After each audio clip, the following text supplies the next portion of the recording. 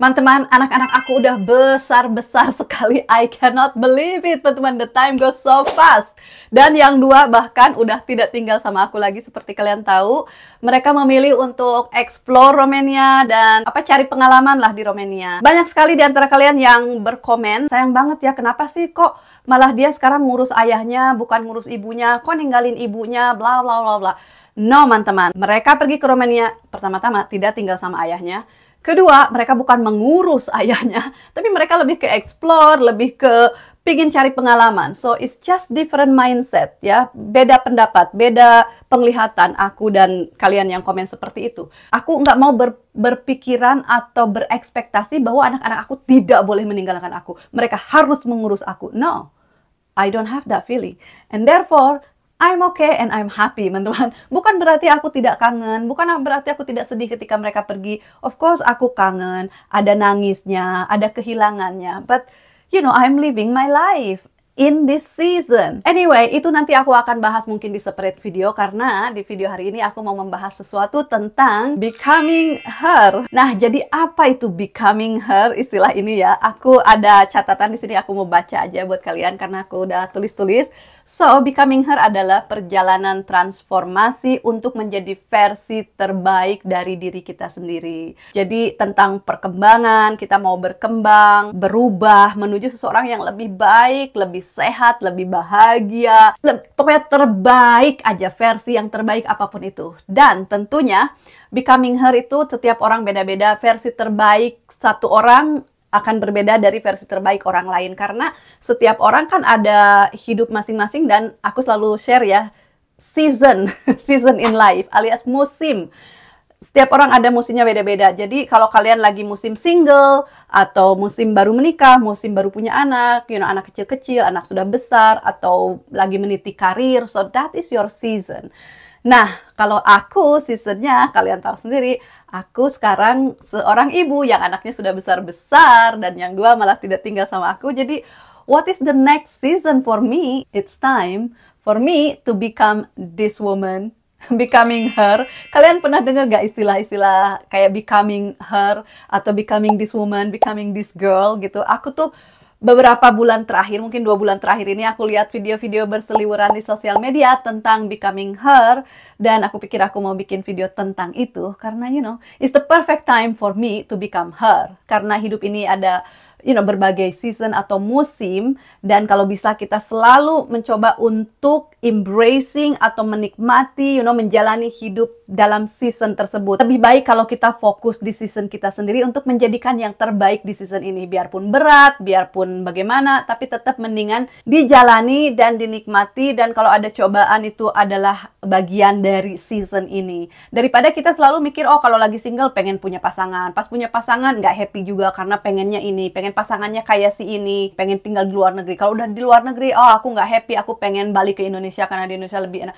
So you just never happy, teman-teman. The best thing to do in any moment in life, kita harus berusaha sebisa mungkin mencoba untuk menikmati dan juga kalaupun ada cobaan menerima bahwa ini adalah bagian dari season ini. Contoh, kalau kita baru punya anak, terus anak masih kecil-kecil, oh, pokoknya ripuh hidup ini pengennya anak cepat besar. No, teman-teman. This is your season. Enjoy this season. Karena anak-anak gede cepat ya, cepat begede, gede cepat cepat gede. I always try my best ya. Of course aku tidak sempurna, tapi aku selalu mencoba berusaha untuk menikmati every season in my life. Waktu aku single, wah aku happy-happy, you know, being single. I never really like, oh aku desperate banget pengen cepat menikah. No.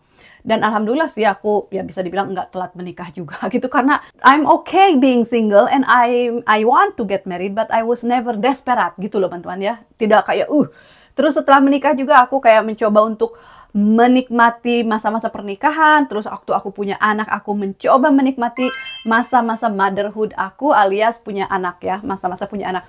Dan kenapa salah satu di antaranya adalah aku tidak kerja lagi, pokoknya berusaha gitu, biarpun waktu itu berat ya, uh, untuk meninggalkan pekerjaan tapi karena keinginan yang kuat juga untuk uh, dedikasi waktu aku untuk anak-anak karena aku pengen menjadi fully motherhood ya, fully kayak stay at home mom, mengurus anak-anak. Alhamdulillah gitu dengan bantuan Tuhan yang Maha Kuasa, akhirnya semua itu terjadi.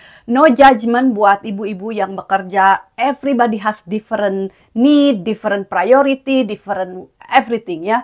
Kebayang kalau misalnya aku dulu lagi anak-anak kecil, aku nggak, oh kayak kecapean, complaining, pengen anak cepet besar. Sekarang anak udah besar ninggalin, oh anak-anak udah besar malah ninggalin aku, sedih lagi.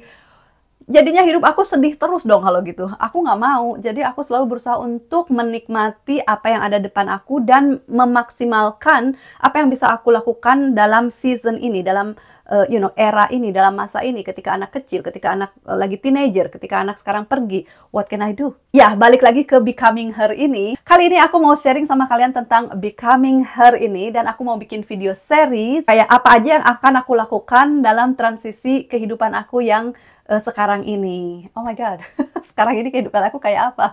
Anyway, aku mau dokumentasikan dan sharing di sini. Uh, kalau kalian mau tahu, mau menjadi part of my journey on becoming her, uh, pokoknya keep on watching dan you know jangan lupa di like videonya dan juga silahkan komen-komen, sharing-sharing di bawah. Aku pengen menjadikan hernya aku ini seseorang yang uh, fit seorang yang fit, yang healthy, yang aktif, yang organized, yang rumahnya itu nggak berantakan, yang aku pengen lebih ke ya dibilang minimalis minimalis banget enggak karena aku kayak I don't know how to do minimalis like super minimalis yang punya ah jaket dua sepatu dua kaos lima gitu-gitu I don't know.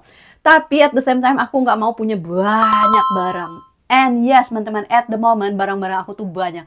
Rumah aku penuh dengan barang. Kalian bisa lihat di belakang aku ini super nice and rapi, you know.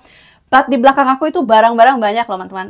I don't know what, so I'm gonna tackle that. Di lemari banyak dan baju aku juga sepertinya banyak. Jadi, teman-teman, dalam journey becoming her ini, aku mau mulai dari decluttering. Kalian pernah lihat nggak uh, movie Limitless? Itu di situ ya, orang itu kan pengen berubah menjadi baik gitu ya pengen sukses. Yang pertama dia lakukan bukan investasi, bukan beli barang, bukan beli hal-hal baru atau apa pun. Justru yang pertama dia lakukan adalah bebersih, bebenah ya. Buang-buangin semua, benahin. Karena itu kayak foundation, dasarnya menurut aku ya. Jadi aku sendiri mau melakukan hal seperti itu. Step number one untuk becoming her ini, the best version of myself in this era, aku pengen bebenah dulu jadi pengen merapihkan rumah as if I'm going to move somewhere gitu loh teman-teman. Aku pengen kayak memikirkan bahwa kalau aku pindah rumah, apa yang akan aku bawa gitu loh. Aku pengen hanya punya barang-barang yang aku butuhkan, yang aku suka, bukan yang perintilan-perintilan gitu loh. Kalau kata Marie Kondo yang sparks joy. So, teman-teman, ikutin terus journey aku seperti itu. Nanti di separate video aku akan mulai dengan decluttering. Habis itu aku juga pengen fokus ke badan aku, pengen lebih sehat. Pokoknya aku pengen transformation. Bener-bener transformation. Hernya aku ini, aku pengen seseorang yang ah pokoknya extraordinary woman. Wow. Karena I don't know, I'm I'm so happy teman-teman. Dan aku juga happy karena anak-anak di Romania baik-baik aja, video call tiap hari. So you know nothing to worry about, life is good dan I just want to really focus on my life to become you know the best version of me karena aku tahu kalau kita fokus ke diri kita untuk menjadi yang terbaik maka dunia kita akan menjadi baik juga membaik gitu loh apa pun itu dari hal ini, hal itu, dan lain sebagainya. So, langkah pertama adalah decluttering untuk barang-barang di rumah, tapi mulai dari barang pribadi aku, which is baju-baju aku dulu. Jadi aku mau dari baju, sepatu, tas, makeup, dan lain sebagainya. Nanti baru aku uh, ke yang lain, you know, barang-barang orang lain kayak Mas dan si Timmy, barang-barang dapur, living room, semuanya. Pokoknya aku akan tackle. So, stay tuned for that, teman-teman, oke? Okay? Terus aku juga pengen fokus ke kesehatan aku, lebih fokus lagi, karena biarpun, you know, cara makan makan aku I'm quite happy at the moment dengan the way I eat, nggak terlalu yang sembarangan banget, tapi ya masih bisa diperbaiki juga. tapi olahraga yang aku I, I'm not happy with the way I exercise. Karena aku kurang banget dalam berolahraga teman-teman. Biarpun kalian suka lihat kadang-kadang kan aku ke gym. Itu karena aku ikut sama Mas Dan dan aku menggunakan guest passnya Mas Dan. Karena dia bilang kenapa nggak ikut uh, member? Dari Januari itu aku pikir ah enggak ah belum mau. Ya karena lazy teman-teman lazy ini. Aku pikir aku jalan kaki aja aku olahraga di rumah aja. Tapi juga jarang teman-teman. Padahal dulu itu aku mungkin lebih rajin daripada sekarang.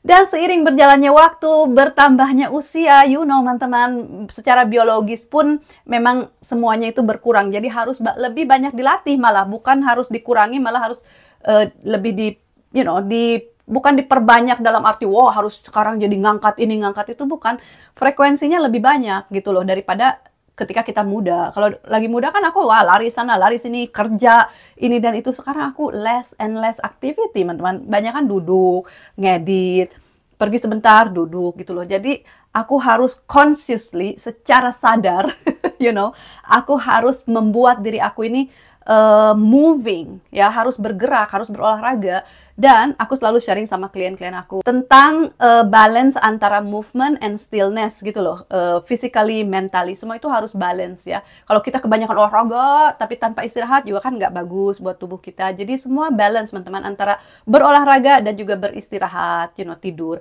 antara physical dan mental spiritual dan lain sebagainya. So teman-teman I'm super excited to go into this journey untuk menjadi seseorang yang lebih baik lagi. Becoming her, teman-teman. Ini hernya aku, aku udah terbayang bahwa hernya aku ini seseorang yang super produktif, disiplin, makan yang sehat, olahraga. Jadi aku juga udah bilang ke Mas Dan, aku bilang yes, aku mau ikutan membership gym tapi nanti jadi satu-satu ya teman-teman. Jadi pertama-tama sekarang ini aku mau fokus ke decluttering dulu. Mungkin you know makan waktu I don't know satu minggu atau dua minggu. Habis itu baru aku mau uh, nge-gym. Tapi Mas Dan udah bilang kalau kamu sign up untuk member jangan nunggu aku gitu loh. Jangan jangan terlalu ketergantungan kata dia. Biasanya kan aku ah kalau sama Mas Dan baru aku pergi gitu loh. Tapi kata dia kamu sanggup nggak? Maksudnya pergi sendiri. Aku tuh malas karena harus naik bus teman-teman. Dan busnya itu bukan di sini. Ini depan rumah aku tuh ada bus stopan, tapi untuk pergi ke gym itu aku harus jalan dulu baru naik bus gitu. Dan itu aku males. Tapi sekarang enggak, no males-malesan karena versi aku yang ini, hernya aku ini, yang akan aku create ini adalah the best version of me yang dia itu lebih rajin, enggak yang males-malesan, jalan kaki cuman berapa meter untuk ke bus stop juga dia uh, sanggup gitu loh. So ya, yeah, aku harus embody the new me ini. I'm super excited. Apalagi teman-teman yang harus aku lakukan untuk becoming her ini. Jadi pertama-tama ya di cluttering itu aku pengen lebih minimal.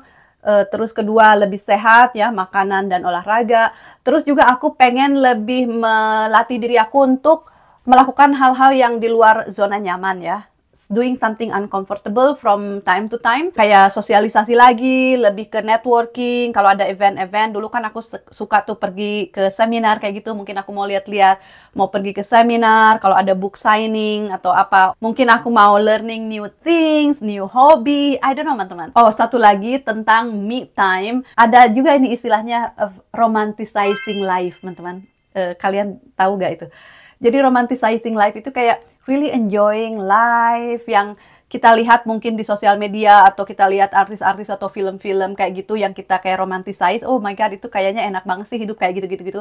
Aku mau ah hidup seperti itu kayaknya enak tapi dalam versi aku gitu. Dengan semua ke kebisaan aku lah, kesanggupan aku, what whatever I can afford, whatever I can do kayak gitu. But ya, yeah, anyway, teman-teman, jadi itu dulu sih buat video ini. Stay tune buat video-video berikutnya. Pokoknya ikutin terus. Aku akan uh, bikin video series seperti aku bilang tadi. Let me know kalau kalian suka video ini. Jangan lupa di like dan juga ya gitu aja dulu buat hari ini. And I will see you in the next video. Dadah!